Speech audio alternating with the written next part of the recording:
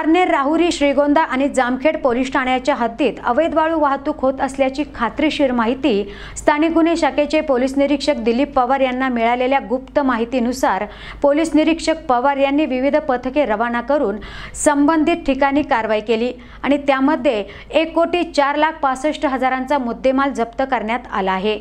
श्रीगोंदा पारनेर राहुरी आणि जामखेड तालुक्यात अवैध वाळू वाहतूक होत असल्याची स्थानिक गुन्हे शाखेचे पोलीस निरीक्षक दिलीप पवार यांना गुप्त खबऱ्याने माहिती दिली होती. त्यानुसार या वाळू तस्करांविरोधात स्थानिक गुन्हे शाखेच्या पथकाने कारवाई केली. या कारवाईत जेसीपी ट्रॅक्टरसह एक कोटी चार लाख पासष्ट हजारांचा मुद्देमाल जप्त करण्यात आला आहे. तसेच याबाबत संबंधित पोलीस ठाण्यात चौदा जणांविरोधात गुन्हा दाखल करण्यात आला आहे. पारनेर पोलीस ठाण्याच्या हद्दीत विना क्रमांकाचा डंपर आणि चार ब्रास वाळू असा वीस लाख चाळीस हजारांचा मुद्देमाल जप्त करण्यात आला आहे. तर आरोपी अफजल अमीर पठाण वैभव बाळकृष्ण पायमोडे तसेच इमाम हसन सिद्दीकी गणेश लंके यांच्यावर गुन्हा दाखल करण्यात आला आहे. बेलवंडी पोलीस ठाण्याच्या हद्दीत एक विना क्रमांकाचे ट्रॅक्टर ताब्यात घेण्यात आले. राहुरी तालुक्यात विना क्रमांकाचा टेम्पो आणि दोन ब्रास वाळू ताब्यात घेतली. या प्रकरणी राहुल बाबासाहेब जाधव अंकुश भगवान जाधव समीर सय्यद दोघे राहणार चिकलठाणा आणि जामखेड येथील दत्ता शहाजी मेहत्रे हनुमत नानासाहेब डोके यांच्यावर गुन्हा दाखल करण्यात आला आहे. तर अकोले तालुक्यातील विना क्रमांकाचा टेम्पो आणि त्यामध्ये अर्धा ब्रास वाळू जप्त करण्यात आली आहे. सागर भाऊसाहेब पुंडे आणि राम खडके